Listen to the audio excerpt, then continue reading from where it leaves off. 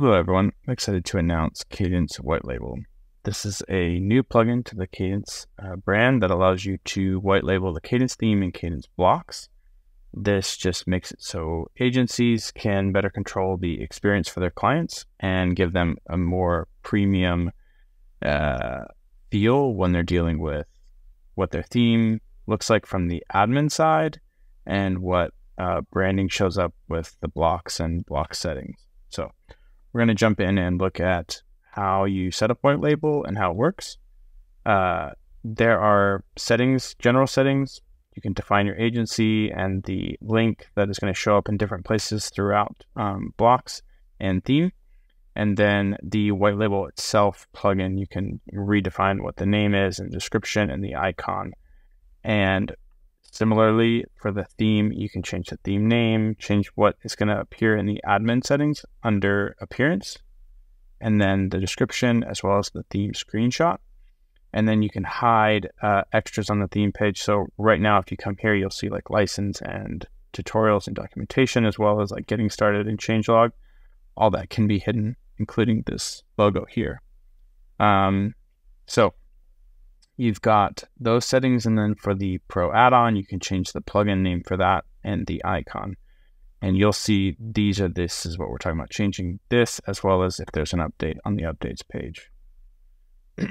Blocks, similarly, you have settings to change the plugin name and description as well as the icon. Uh, and you also can change this nav menu in the admin so you can um, change the name of that. You can set the icon. There's some existing icons here, or you can choose custom. And if you choose custom, you can just drop an SVG in. Uh, it's important to note that you should have fill equals current color for the best results of it to, to follow all the hover styles. And then you've got Blocks Pro, and you can set the name, description, and icon. The last extra settings here is you can disable AI. Kadence AI can't be white labeled, so you can disable it for your users. And then you can um, hide this white label uh, nav menu completely, and that will prevent anyone from seeing it. If you do hide it, there is this little trick. You can add this, append this to the URL when you're on the uh, themes page, and that will uh, reveal it back. So if you ever like decided you wanted to hide it and then get back to these settings, you can do so by uh, going in to putting this at the end of the link. We can show that in a minute. But uh, the main thing is you enable save, now you're going to see that all of this is rewritten. I've got a new screenshot. I've got the by is the author, new name and description. And then on the plugins page, you can also see all of these have been rewritten. If you like were to come in and view details, you'll see that even all of this is completely white labeled for you. This link goes to the link for your agency. Um, and then the admin page, it's got your custom icon here, as well as the settings page has been white labeled. The Kadence um, page has been white labeled.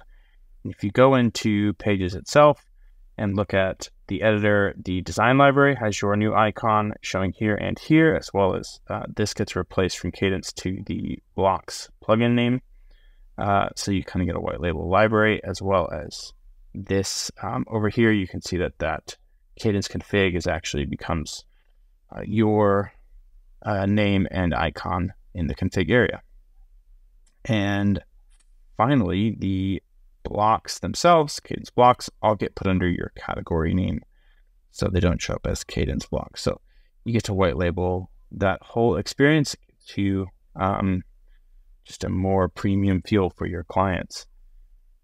And then I will show under white label, you can hide this. Um, again, this is what you would append to, to get back into the settings. So once I do that, if I reload the page, this page is actually gone now. So it says like, hey, you're not allowed to access it because there's no page there. And I just go back to the admin. You can see that under the uh, theme page, there's no white label. To get that back, I have to go back to that theme page and then just append that to the URL. And that brings back the white label settings. and then I can turn them off again if I want to. So there's your quick overview of Kadence White Label, and I hope you like it.